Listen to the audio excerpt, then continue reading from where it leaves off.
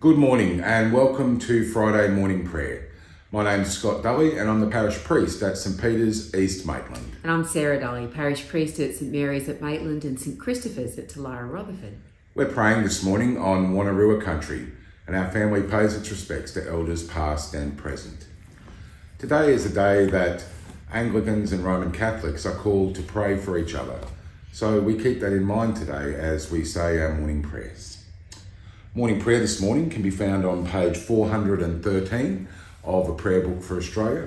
The Psalms are Psalm 11 and Psalm 12, which commences on page 232 of the prayer book.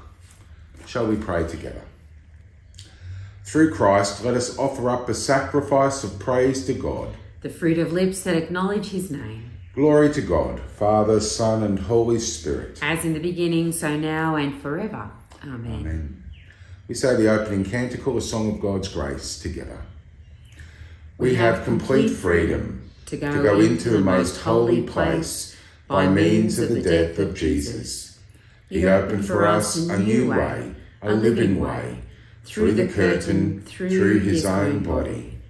Since we have a great high priest set over the household of God, let us draw near with a sincere heart and a sure faith with hearts that have been made clean from a guilty conscience, and bodies washed with pure water. The night is past and the day lies open before us. Let us pray with one heart and mind. As we rejoice in the gift of this new day, so may the light of your presence, O God, set our hearts on fire with love for you, now and forever. Amen. Amen. We'll say Psalms 11 and Psalm 12 by alternate verses, commencing with Psalm 11. In the Lord I have found my refuge. How then can you say to me, Flee like a bird to the mountains?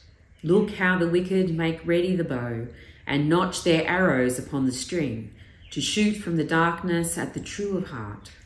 If the foundations are destroyed, what can the righteous do? The Lord is in his holy place. The Lord is enthroned in heaven. His eyes search out. His glance tries the children of Adam. He, cry, he tries the righteous and the wicked, and those that delight in violence, his soul abhors. He will rain down coals of fire and brimstone upon the wicked. A scorching wind shall be their cup to drink. For the Lord is righteous and loves righteous acts the upright shall see his face. In Psalm 12. Help, Lord, for there is not one godly person left. The faithful have vanished from among the children of Adam. Everyone tells lies to their neighbour. They flatter with their lips, but speak from a doubled heart. If only the Lord would cut off all flattering lips and the tongue that speaks so proudly. They say, By our tongues we shall prevail. Our lips are our servants. Who is Lord over us? Because of the oppression of the poor, because of the groaning of the needy, I will arise, says the Lord, and set them in safety from those that snarl after them.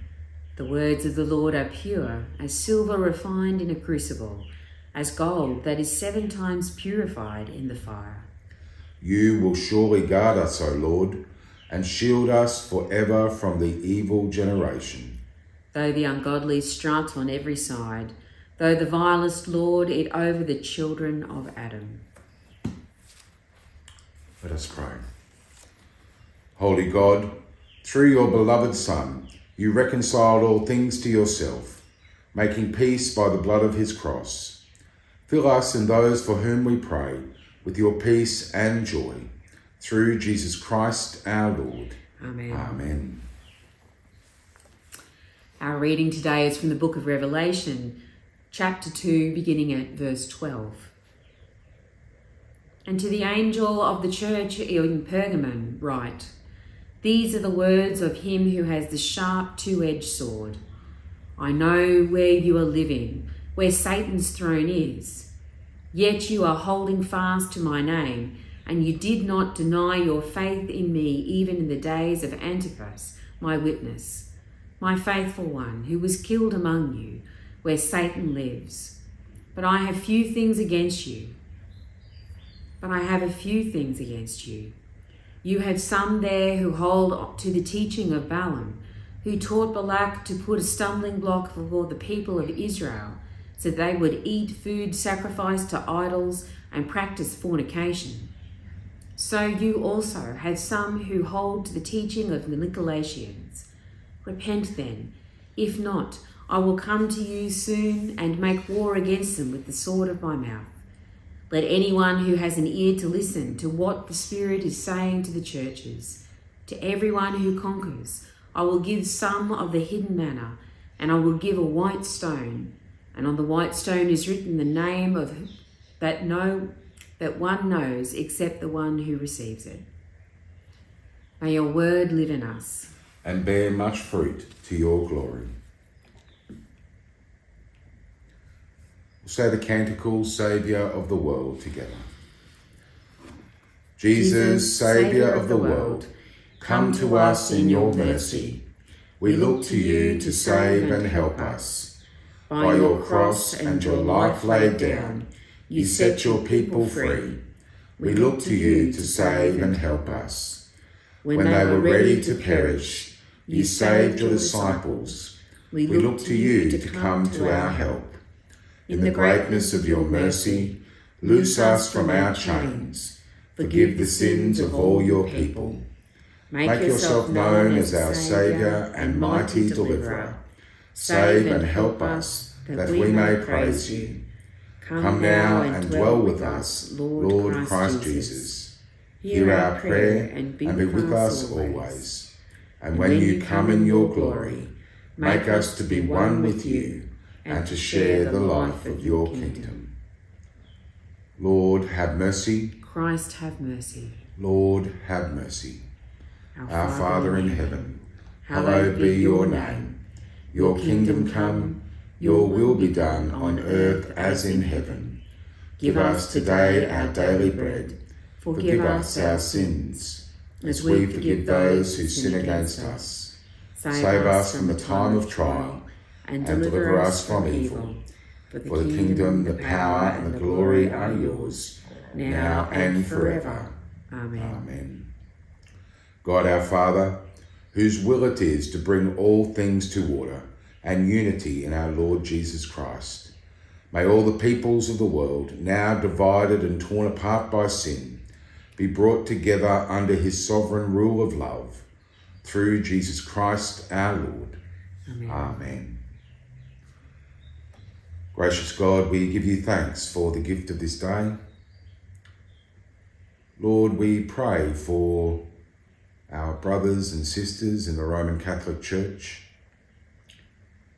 We pray for His Holiness Pope Francis as he leads the worldwide Roman Catholic Church. We pray for all bishops, priests, and deacons, for those in religious orders and communities and for all lay people. Locally, we pray for our neighbouring Roman Catholic parishes. Lord, lead us into ways of deepening our bonds of friendship and love.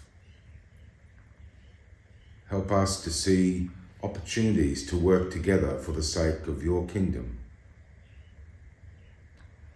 Lord, in your mercy, hear our prayer. Gracious God, we pray within our own diocese for our bishops, Peter, Sonia, and Charlie.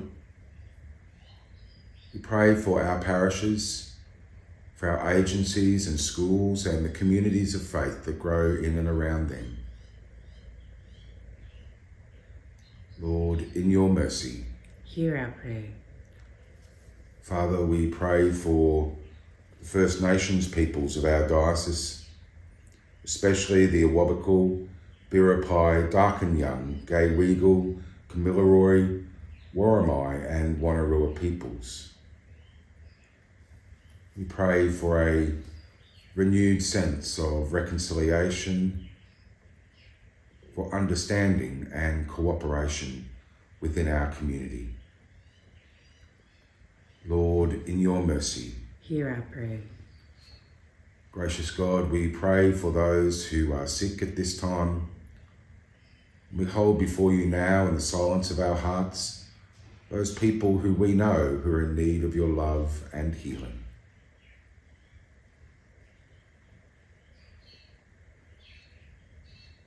Lord, in your mercy, hear our prayer.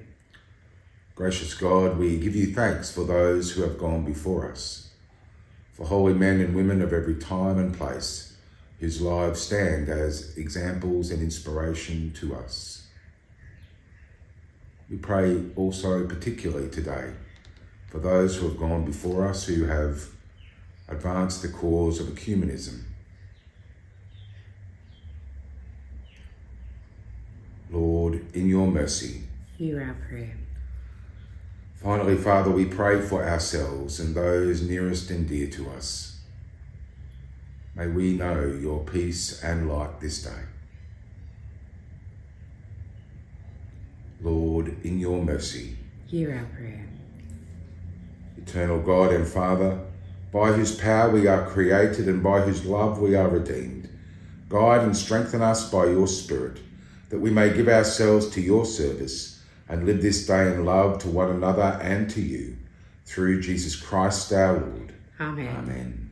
The Lord be with you. And also with you. Let us praise the Lord. Thanks be to God. Peace be to us all and love with faith from God our Father and the Lord Jesus Christ. Amen. Amen. Have a wonderful day.